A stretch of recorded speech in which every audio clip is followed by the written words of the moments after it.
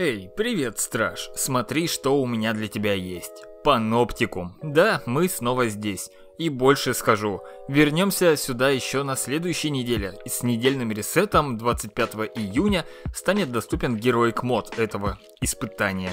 Подробности об отличиях героика и нормала кратко вот в этом видео. А пока давай разберемся, за какими пушками стоит сюда ходить, а вернее, с какими перками ловить новое оружие. И да, мы поговорим не только о револьвере и снайперской винтовке. Интересного тут может оказаться куда больше. Меня, кстати, зовут Джонни Лейни, и я рад, что ты снова на канале Triple Vibe. Немного базовых знаний сначала. Для того, чтобы получать оружие, о котором пойдет речь, нужно активировать правильную комбинацию рун на чаше изобилия.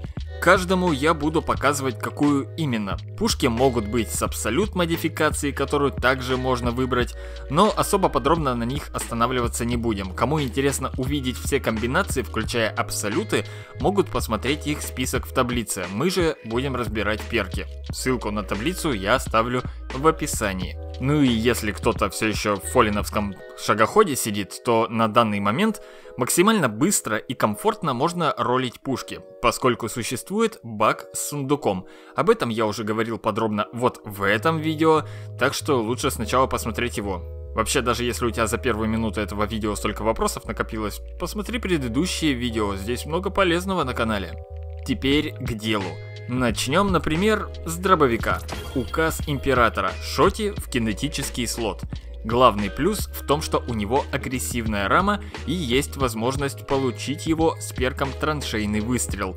Из минусов он довольно медленный, темп стрельбы 55 выстрелов в минуту, и задержка между выстрелами составит секунду с небольшим. Да и запас магазина тоже маловат, всего 4 выстрела. Однако какие перки стоит ловить на дробовик, если вам нужен новый ствол в PvE? Лучшим роллом, по моему мнению, будет нарезной ствол, он увеличит дальность, не жертвуя при этом уроном, штурмовой магазин, он увеличит скорострельность, с которой у этого шотти беда, помните? Далее перк система автоспуска, который хоть минимально, но опять же нивелирует недостаток скорострельности. Ну а последним перком, конечно же, траншейный ствол. Это главный перк для любого PvE ориентированного дробовика. После нанесения урона в ближнем бою, урон с дробовика будет увеличен, его точно стоит искать. Стоит обратить внимание, что дробовик следует рассматривать именно как PvE приоритетное.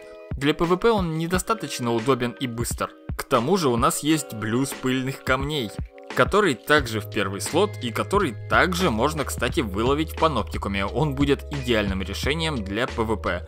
Указ Императора – неплохая альтернатива и Келу из второго слота, особенно если у вас нет хорошего уровня угроз с рейда Истребители прошлого. Далее Эпикуреец. Надеюсь, правильно прочитал. Плазменная винтовка. У этой пустотной малышки очень хороший параметр дальности стрельбы, удачно контролируемая отдача и отличный аим-ассист. Время заряда не особо выдающееся, но его можно подтянуть перками. Какие перки, собственно, я бы рекомендовал? Полный калибр, который улучшит дальность, важнейший параметр для любой пушки. Проекционный залп, тип магазина, направленный на улучшение того же параметра, дальность, либо умножитель частиц, если вам важнее прокачать стабильность. Ну или жидкостные катушки, если хотите добавить к урону. Первый перк с особенностью под давлением, он улучшит стабильность и точность, когда в магазине мало патронов. А если мы говорим, например, о PvP, во фьюженке всегда будет мало патронов, а значит перк всегда активен.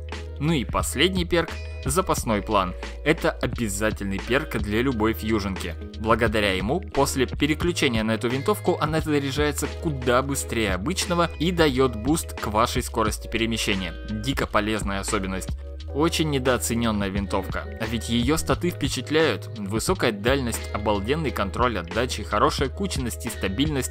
Рекомендую всем фанатам этого вида оружия, особенно если вам не падает хороший ролл Аурвандила или она кажется медленной. Можно юзать хоть в PvP, хоть в PvE. Снайперская винтовка – любимый. Моя любимая винтовка в этом сезоне. Безумно нравится с ней играть в горниле благодаря прицелу SLH-10, к которому я привык еще с первой части. Низкий зум-фактор, хороший aim assist, крутой параметр удобства оружия. Все это ключевые плюсы винтовки, за которые она сразу полюбилась не только мне, но и многим стражам. Ищите эту снайпу со следующими перками. Гофрированный ствол, который улучшит удобство оружия и стабильность. Неплохо было бы словить перк высокоточные припасы, чтобы улучшить дальность стрельбы, поскольку она на большой дистанции немного проседает.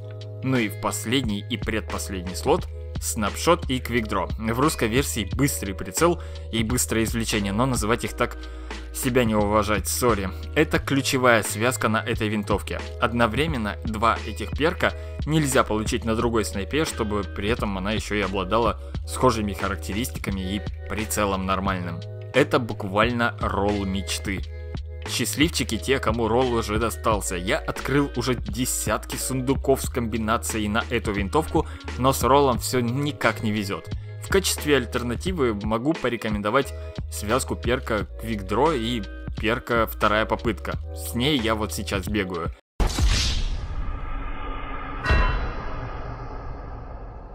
В перке концентрация, о котором многие говорят, я ничего не нашел, по крайней мере играя на консоли. Ну и еще я бы рекомендовал искать снайпу с абсолютом на скорость обращения с оружием, тогда она будет еще более послушной в руках. Тяжелое вооружение пошло. Пулемет – фиксированная ставка. Главный плюс – шикарная дальность стрельбы и неплохо контролируемая отдача из-за низкого темпа стрельбы. Этот пулемет, как и рейдовый, делает 360 выстрелов в минуту. Мне лично он зашел, но только в гамбите и может быть в быстрых матчах горнила, но использовать его в PvE для урона по боссам я бы точно не советовал. По урону он уступит и Акуле Молоту, и Делириуму, и уж тем более Владыке Грома. Какие перки на нем ловить, если все же придется он тебе по вкусу? Стреловидный тормоз в ячейке стволов, чтобы справиться с отдачей, рикошетные патроны во второй слот питающая ярость для буста скорости перезарядки после киллов и полоса удач в последний слот. Лишний прирост к урону тут совсем не лишний. Револьвер Сокольничий, пушка, за которой в паноптикум уходит подавляющее большинство игроков.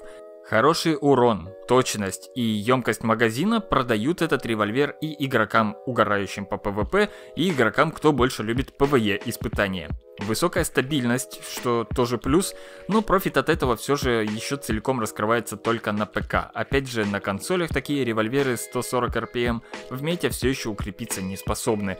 Хоть и характеристики отдачи очень впечатляют, 95 единиц из 100. Итак, ловить следующие перки. Ствол полный калибр или удлиненный ствол. Они добавляют эффективного расстояния. Высокоточные боеприпасы. Да, этот вид патронов самый часто встречающийся в сегодняшнем списке. Что поделать, параметр дальности стрельбы важен на любом оружии.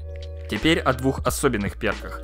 Тут зависит подборка от того, для чего тебе нужен этот сокол. Если ты PvE спортсмен, то твой выбор очевиден. Изгой и полоса удач. Связка знакомая и рабочая, и тут ты спросишь, но ведь есть полночный переворот. И на самом деле Опуская полемику, будешь прав. Переворот скорострельнее и с большей емкостью магазина. Однако, есть не у всех, а у кого есть, мог успеть задолбать с первого года. Вот лишь в таких случаях и стоит рассматривать Сокольничий, как замену в первый слот.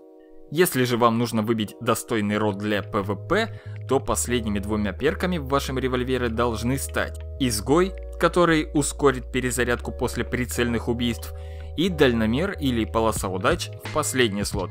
С дальномером у вас будет приятный бонус к эффективному расстоянию, а полоса удач при накоплении хотя бы одного стака будет убивать противника за два выстрела в голову и один в тело. Револьвер полюбился многим своим архетипом, возможностью проще искать нужные перки, чем на лишнем пайке каком-нибудь. Ну и как-никак, это же Рискина из Луны или Хокмуна в новом обличии. Как такое не полюбить? Остались у нас пистолет и пистолет-пулемет. Объективно, обе пушки довольно слабые, работают только в связке со своей экзотической парой, мидом, мультиинструментом и штурмом.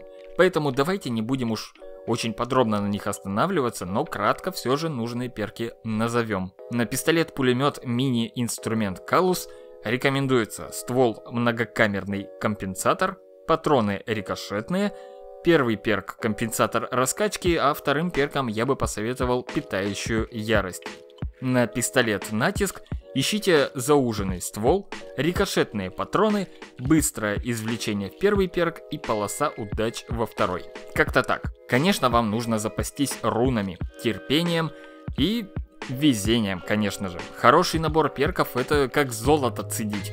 Усидчивости нужно вагон и свободного времени. Зато потом играть станет приятнее, да и похвастать в чате каждый любит из вас, а? Вот и разобрали все новые пушки с паноптикума. Однако напомню, что там же можно ролить старые легендарки, типа блюза пыльных камней или сумеречной клятвы. Подробнее об этом опять же в таблице под видео. Не забудь подписаться на канал Страж, поставить лайк Страж и до связи Страж. Удачного лута!